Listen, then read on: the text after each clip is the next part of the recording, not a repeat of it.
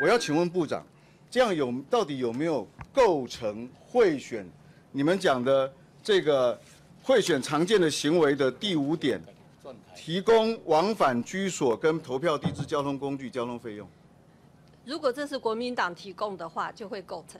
所以另外别人，譬如说你在选举，我来我来提供，我提供给他说你去投给他，我的钱是我出的，这样就不构成选举呃贿选。这个要看状况。如果你这个法务部长，未免当的也太随便了吧？报告员不只要不是候选人提供的，只要不是政党提供的，不是就不构成贿贿选吗？委员，刚刚您讲的状况是说要锁定。他只投给国民党的这些人，他才提供优惠的话，那就应该会构成。所以是这样，所以假设是这样，我今天跟你买票，我跟这个人买票说，哎，我拜托你，请你投给某某人。那我只投给，我只提供钱给某人去投给那个候选人，或者是我提供这个费用，希望左右他的投票行为，这你必须要讲清楚哦。是。当我有这个企图想要左右你的投票行为的时候，我是不是已经构成贿选？对，或者是我要确知你会投票给我，我才给你钱，这是两种不同的太阳，对不对？是。哪一种构成贿选？你提供优惠的人，他有想要影响投票。他我想要影响你，希望你照我拜托的去投票，但是结果你到底投给谁，那不一定就是构成贿选的要件，对不对？只要我提供了，我企图改变，即便这个提供的人，他不是候选人。委员中我提过一个过去曾经发生的例子，立法委员有人替他板凳，替他办桌了，要感谢他。立法委候选人，结果被起诉了，被起诉的是那个退板斗一郎，钱不是候选人出的，对不对？这样也你们的认定也构成贿选嘛，对不对？也构成贿选之嫌疑嘛，没有错吧？所以他并不以说这个人一定会投票给谁，或者我明知他本来就要投票给谁，我只要是一个不特定的对象，我希望能够改变他的行为，影响到他，我提供了一定的对价，这个就有可能是贿选，没有错吧？委员讲的一个重点就是说，提供对价的人有企图影响投票行为。那这个提供对价的人，他去影响跟航空公司协商。那有可能是出钱的是航空公司，可是这个协商的人可能他没有出钱，可是他企图透过取得航空公司的优惠来跟对选民说：“哎，我帮你们争取到优惠机票，请你们投票给国民党。”那这样会选的是航空公司吗？显然不不是，因为他不他没有这个犯意嘛。有犯意的是谁？有犯意的是协商优惠机票的人嘛。刚才这段质询当中，我替法务部长罗英雪捏了一把冷汗，因为段宜康委员质询的时候，罗部长的回应竟然是说，如果你帮国民党买票，但是要你是国民党帮国民党买票才叫贿选，我愣了一下，我说，哎，这个不，这不是法律概念吗？对，其实刚刚最突兀的地方就是罗英雪在回答的这内容，马上当然是被段委员给打脸了，因为你说，因为我们都知道事实是。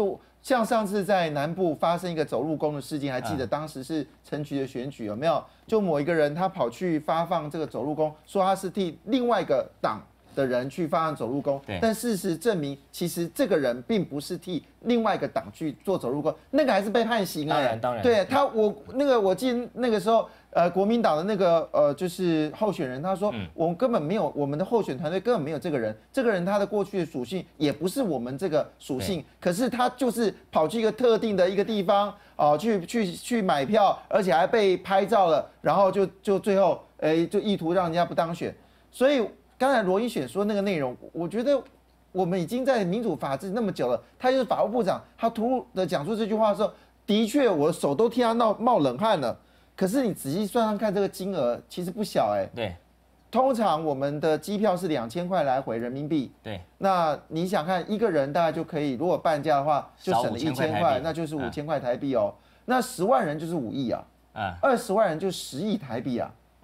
哎，这不是一个小钱哎，就是就航空公司谁去？因为航空公司它打折，当然我我必须说明一件事，这个航空公司基本上在过去的范例是没有我们台湾的航空公司，基本上都是对岸的南方航空。那你是从深圳的话，就南方航空、深圳航空。那如果你是上海，可能南方配合当地的航空公司，那基本上是中国籍的。对。那就这就是有趣。如果今天呃，我们把它退一万步来想，说两岸真的很和平。可是当这个呃我们说的习近平说出“一国两制”这样的议题的时候，难难免人们就会想出你会不会有一些政治的意图？这个东西怎么样都该规避。但是我要跟各位报告这件事情，我其实也是受惠者了，因为我之前也在大陆工作过。哎，那个武则真的坦白讲还蛮开心的哈。那我要做一个陈述哈，那就是我们几个台干哈，那么就台胞证收一收，嗯嗯，他们也没有我们党籍，嗯嗯，好，那就票就拿回来，所以我也是受惠者，好，但也没有告诉我们要投什么，这是一个事实。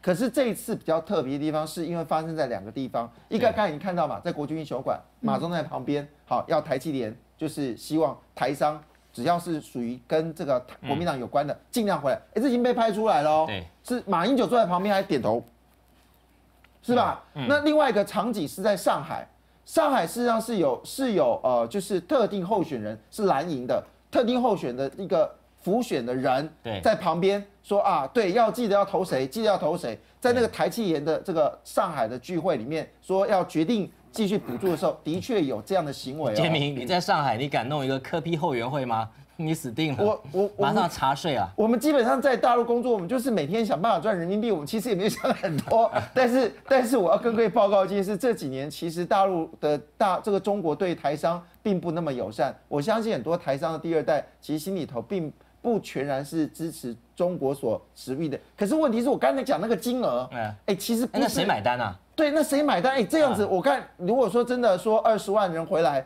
那就是十亿台币哎。对，谁买单啊？十亿台币可不是一个小钱呢。对啊所以这样你难免有瓜田李下啦。我觉得中国也不要做这件事情啊。我们台湾的这某个特定的的政党，你也不要一天到晚叫台积电做这个事情，让大家觉得选举到这个最紧绷的时候做这种事情，难免就觉得，哎呦，台湾已经民主化那么久，怎么还搞这种金钱游戏？对，嗯嗯，对啊，说的也是啊，这个团票怎么那么便宜？下次我们也来比照便宜而且还是定点的哦，嗯定点到定点，然后你时间都确定。比如说我今天是买二十一号去，那我是二十五号回来啊，哎我就乖乖的二十一号去，二十五回来。嗯，对，那我在看哦，大概都是这个那里面的一些工商界的顾问，还有包括航空公司哦，大家一起来买单了哦。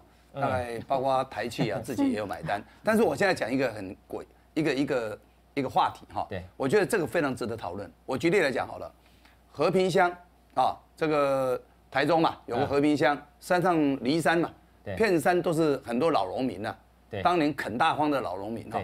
那这老农民呢，假如说他有两千票的话，哈，那有一个民间的农民组织，因为老农民啊要跑来投票很困难嘛，嗯对不对？于是呢，一个人发了两千块给他，鼓励他来投票，鼓励哦，对那鼓励哦，但是不会告诉他你要投谁哦。对，请问你这算不算贿选？我现在讲这个问题哦。贿选。啊，你这个这个现在很抱歉，没有任何没有任何定义哦，我没有告诉你要投给谁哦。对第二个，农民之家里面有很多老伯伯，是农民之家很多老老伯伯嘛，可能有的还躺在床上呢，呃，坐在轮椅上都有。对那如果说，哎，农民之家说没关系，我跟你们一个人一千块，搭了计程车去啊去投票。那他也没告诉你要投谁，那这到底算不算贿选？贿选所以我觉得说，您说贿选哈，很抱歉了，它定义上绝对是不一样。嗯但是我不是要替这种事情来辩护，而是我认为啊，两位立委诸公哈，嗯针对这种事情应该用立法去做一个限制。嗯，应该立法去做限制，因为贿选要有贿选条件，对它要有契约的对象。如果你没有契约对象的话，可是话说回来，我们大家可能清楚了啊，和平乡的农民之家的老农民啊，当然又是大数法则，倾向蓝的机会比比例比较高嘛。于是你就说，哎，用这个定义来说他是贿选，其实这是有模糊空间的。所以我现在觉得说啊，还是要从立法里面去做限制跟禁止了哈，否则的话，这种事情呢，尔后到二零一六年仍然会不断的去上演。但是追根究底哦，我们解决的方法仍然要相信我们的人民，用通信投票来解决问题。人家美国也好，英国也好，世界先进民主国家都已经采行了，为什么我们不去做呢？我觉得我们要相信老百姓，只要你用通信投票的话，其实这类的问题全部都可以迎刃而解。嗯刚刚讲说，呃，提前给伊，啊伊，互伊较愿意去投票，是不是贿选？我直接讲，就是贿选。嗯，因为有可能伊无想要投啊，啊你可以，啊就歹势去投。问他，当然已经影响他 要不要投票的行为，哦更不要说不是最后说投给谁，因为秘密投票当然看不出来啊，但是结果是看得出来，因为开票就知道，哎，来几个人，开了多少票，这是非常明确。我刚刚看到罗云雪，呃，法务部长，哎，他是有很多减呃减掉单位都在他手上哎，他有这样的观念，难怪讲咱台湾的毁算不断，因为个标准不一啦，对不？足清楚，你即马甲想象，如果咱的投票数都来两台游览车啊，倒倒啊，等等来我再倒倒去，你会安怎想？老百姓会接受无？绝对袂接受啊！伊讲我嘛无讲要当相啊，不必讲，这个就是很明确，一定侦办的，因为法务部已经有下文呢，韩文说就是禁止提供对那个选，呃就是居住地跟选呃投票所的对，这个是不行的。啊，用游览车载人去投票是犯啊，你。还从国外回来，甚至于用飞机不犯法哎，还是中国出的钱，这个问题更大啊，嗯就是来影响这个投票权。但现在可能不回来的可能因为这样不回来，你回来就是已经影响你要不要去投票都影响了，嗯，对不？当然这做清楚啊我我。我我想就法律的角度来看，他们有指定要是谁，要指定对象可能不这个犯法。当然你但是我们要问动机，对吧？啊那你为什么要做这个事？对啊，这是广义。我跟你讲，前几日啊？如果说按照基层哈，我的我的行政那边，谁只有谁可以当天催票，连催票都不行，哎只有里长。哎，说可以广播，哦还没有投票，投票等等的哦嘿嘿，其他通通不行哎！你在路上说，哎呀，你要不要还去去查看看谁还没有出来投，打电话出去都有问题。哦我是认为这个非同小可，这个就是在影响，甚至有很多那个啊选办法的规定，在当天还不能登广告，有什么有的没有的哎技术上的一个哎，对不对？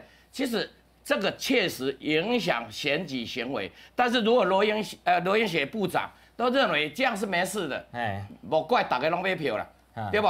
卖本人买就好啊，卖本人买好，虽然人家无买票，其实如果影响当选还是无效的。嗯，对不对哎，对，我们稍后回来，我们继续谈一谈。听说柯批他去募款是违法的。